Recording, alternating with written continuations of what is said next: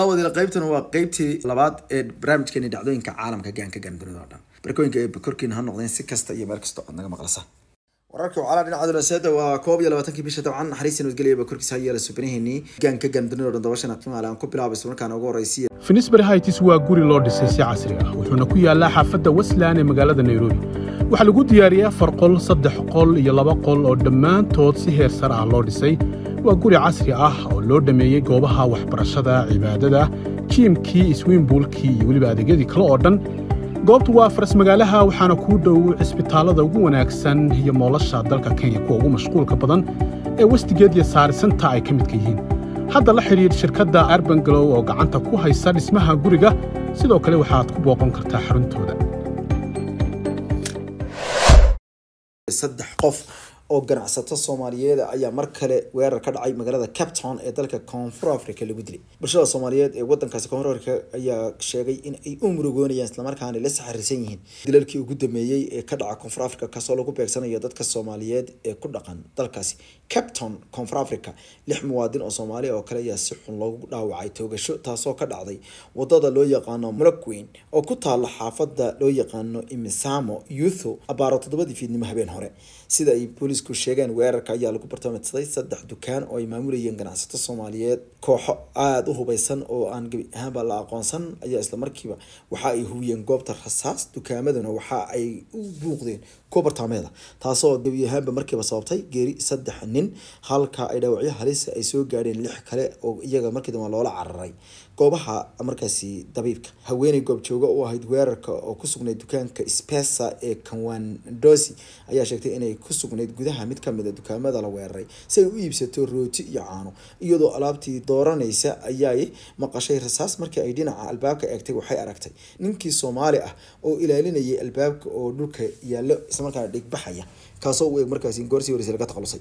Waxaan tuuray bay ti dhammaan waxyaabihii aan gacanta ku hayay oo aan u cararay dhanka albaabka anigoo ka booday ninkii dhaawac ahaa dushiisa oo isagu markaasi wadhnaa oo kadibna waan baxsaday. Markii aan banaanka u baxayna waxaan maqlayay rasaas kale oo gudaha dukaanka ka dhacaysa. Sidaa daraadeed waxaan u maleynayaa inay tooganayeen ninkii labaad oo ka dambeeyey containerka hoose hadalka udhigtay afayeenka booliiska western cap ee cornel andre truter ayaa xaqiijiyey dhacdada isagoo sheegay in baadhayaashu ay wadaan baadhitaano sababaha ka dambeeyey dilalka arxandarada bulshada mitisamo yahu ayaa xaalad kacsanaana ka jirta. Kadib weerarka gudoomiyaha hoot loo yaqaano bay community police forum oo la yidhaahdo isaga loyesto scott ayaa sheegay in ay wadaan. Ayuu yidhi dadaalo lagu xakameynayo rabshadaha iyadoo loo marayo wacyigelin soo hadalka udhigay dalalkan ayaa qeyb ka ah rabshado nacaybka shisheeyaha ee koonfur africa gaar ahaan kuwa lagu badoonsado ganacsatada soomaaliyeed sannadkii labadii kun iyo sideedii mawjado rabshado shisheeye nacayba ayaa ku faafay koonfur africa taasoo sababtay geerida daraasiin soomaali ee ku jirto muwaadiniinta soomaaliyeed ayaa iyagu halkaasi u taga. Xoogsi iyo ganacsiyo yaryar oo halkaasi ka furaan. Isla markaana waxay ka mid yihiin dadka iyagu sida nafta leh u shaqaysta. Hase yeeshee dowladda soomaaliyeed ayaan marnaba waxa uga qaban.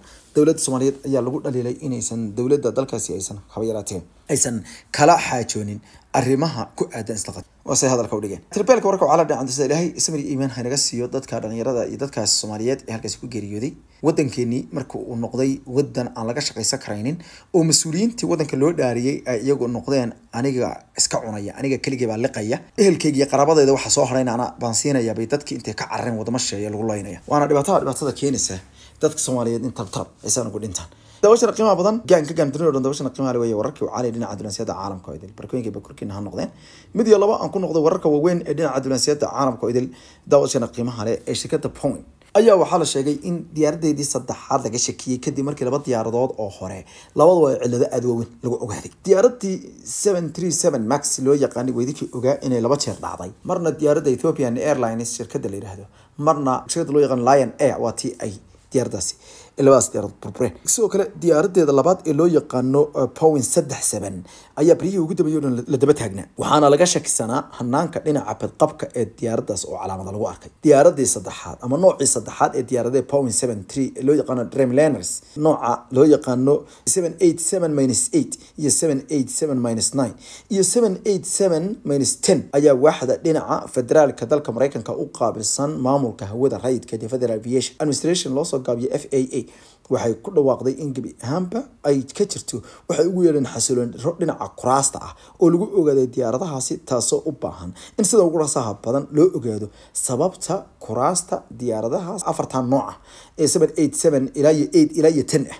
Markaasi markaa eight ka bilow sagaal ku dar ilaa iyo tobanka markaasi ay u dhacayaan waa saddex nooc oo diyaaradaha ah dabcan. Ayaa layidhi waxay sheegtay in ay gebi ahaanba ay tahay arrin loo baahan yahay in la ogaado xogta dhabta sababta ay seven eight seven minus eight iyo seven eight seven minus nine iyo seven eight seven minus ten oo saddex nooc oo diyaaradaas seven eight sevenka ah ay arrintaasi u muuqan tahay waxayna sheegeen in sida ugu dhaqsaha badan muddo soddon maalmooda dhammaan diyaaradaha noocaasa ee lagu arkay calaamadahaasi wax laga qabto gebi ahaanba waa in ay arrimahan la qaadaa sida ugu dhaqsada badan oo loo saxa ayaa lagu warka qoraalka. Diyaaradda ayaa waxay sheegtay in boqol iyo konton iyo sideed diyaaradood oo ah noocyo kala duwan ay gorsii horeysay iyadana ay diiwaan gelisay oo nooca seven three seven ah.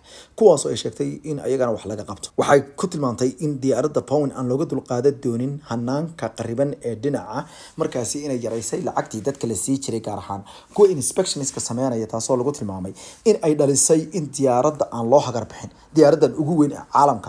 Oo dhan u isticmaalo weye diyaaradaheeda ayaa dunida oo dhan laga isticmaalaa waxaa la sheegay in konton qof ay ku dhaawacmeen diyaaradda loo yaqaano latam falaytkoodii sideeda boqol ah kadib markii uu hal mar ay diyaaradaasi iyadoo oo maraysay afar boqol oo fiid oo keliya ama boqol iyo labaatan markaasi mitir ay hal mar ay hoos u soo dhacday ama hoos u soo degtay magaalada auckland ee dalka new zealand iyadoo u socotay magaalada auckland ee dalka new zealand kana timid magaalada sydney ee dalka australia. Arrintaas ayay ku tilmaantay inay xogtaasina ay tahay mid kale oo muujinaysa halista aadka u weyn ee diyaaradan berihii ugu dambeeyay oo dhan ay keentay. Lama garanayo waxaa iska khuseeya kuraasta calaamadaha ka muuqda iyo weliba diyaaradahan cilada kale ee ku imaanaysa. Waxaana la kasaynaa inay isku wada xidhan yihiin laakiin fa waxa ay sheegtay in soo ogaatay xog la yaab leh oo ku aadan in ay jiraan qaab dhismeed aada u liita oo hadeerta loo maamulo hanaanka powen powen ayaa dhowaan guddigeeda sare waxaa la horkeenay aqalka kongareeska dalka mareykanka. Halkaana wacad ayuu ku maray mid ka mid a mas'uuliyiinta isagoo raaligelin toosa siiyey dadkii eheladaha ee ku dhintay diyaaradihii hore iyadoo sidoo kalena ay sheegeen inay saxayaan. Bishii janaayana diyaarad oo iyaduna ka duushay magaalada arlington ee virginia. Islamarkaana ku sii socotay gobolka alaska ayaa waxaa la sheegay in ay gebi ahaanba ay kala daadatay islamarkaana halis aada u weyn ay dhalisay. Inkastoo duuliyaasha diyaaradda ay ku guuleysteen inay si salmiya diyaaradda u fadhiisiyaan haddana diyaaradda ayaa god weyn ka dalooshama islamarkaana waxay keentay cawaaqib xumo aada u weyn. Haatan diyaaradahan sidee ayaa lagu ogaadaa haddaba? Markaad raacisid sidee ayaad ku fahmi kartaa? Diyaaradda markaad raacisid alaaba markaad tigirka goosato ayaa waxaa lagu soo diraya tigirka. Tigirka waxaa ku qoran diyaaradda nooceeda. Modelka diyaaradda ayaa ku qoran. Haddaad fiiriso tigirka dhinaciisa inta badan wuxuu ku qoran yahay dhinaciisa bidix ee kore ama wuxuu ku qoran yahay dhinaca midig ee kore. Ayay ku qoran tahay diyaaradda flight numberka lama rabo. Waxaa la rabaa nooca diyaaradda ee aad qaadanaysid in aad ogaato. Sidaad markaa nooca diyaaradda aada u ogaato islamarkaan go'aan uga gaadho inaad la dhoofayso inaad qoyskaaga saarayso iyo waxaad adigu sameynayso.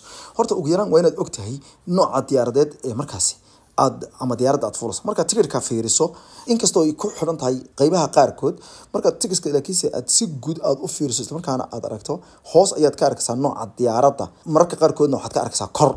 Waxay ku xidhan tahay inaad midmidh u fiiriso oo aad ogaato nooca diyaaraddu ay tahay gaar ahaan ta aad fuuli doonto ee markaasi ku qaadi doonto. Waxaan arki kartaa marka macluumaadka diyaaradaha oo dhan ee dhammaantood kaa qaadaya meel kale ee meel kale ku geenaya iyadoo marka laga yimaado flight lambarka oo iyadu isku mid ah flight lambarka waxaa laga wadaa waa isku lambarka hal mar baa la sameeyey. Sidaa daraadeed diyaaradan flight lambarkeeda mar walba ku duusha ama diyaarad kalaa ku duusha oo isla duulimaadkan uu leeyahay ismana bedelo flight lambarku inta badan.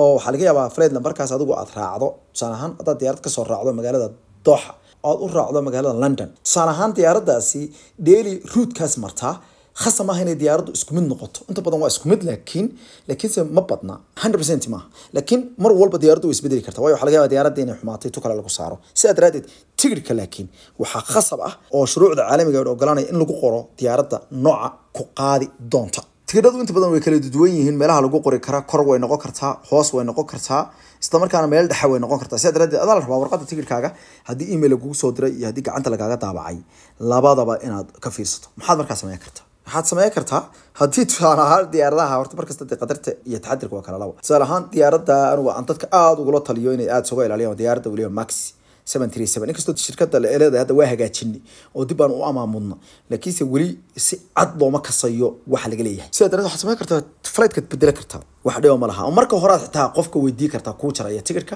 iyo hadda adigu goosanaysaba waayo macluumaadka tigirka intaadan confirm gareen baaba hoos lagugu qoraya diyaaradda noocaasa waxaas marka qaarkood laakiin mar marka qaarkood waxaa dhacda laakiin diyaaradda lafteeda marka tigirka intaan la jarin inaan la arag laakiinse aad bay u yarta. Waxay ku xidhan tahay qofka kuu goonaya iyo meesha aad ka goosanayso iyo websitekaad ka goosanayso websiteda caalamiga ah ee diyaaraduhu iska leeyihiin ee dhatcomkooda ah. Inta badan macluumaadka uu ku cadyahay taasna waa arrin tala daawashana qiimaha badan. Wararka waxaa la dhinaca dibasada caalamka o dhan qeybta saddexaad qatay